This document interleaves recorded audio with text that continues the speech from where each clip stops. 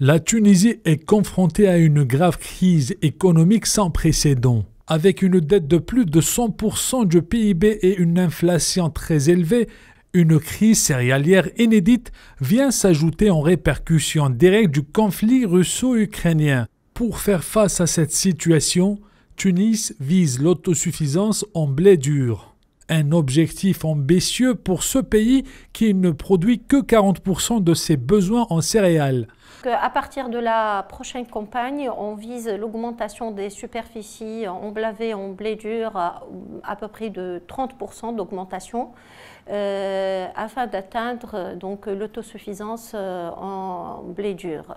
Euh, actuellement, euh, la Tunisie euh, réalise un niveau de production au niveau de 70% en blé dur.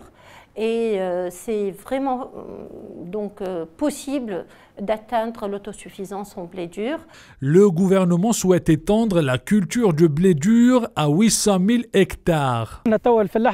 S'il y a une volonté de l'État, une politique agricole de l'État, nous les petits agriculteurs, nous pouvons augmenter la production de 50 à 90%. Si l'État nous subventionne au niveau du matériel, des pièces détachées, sur l'ammonitrate et les insecticides. Le gouvernement tunisien a déjà dévoilé une série de mesures pour améliorer la situation dans l'espoir d'atteindre l'autosuffisance en blé dur d'ici la récolte de l'année prochaine.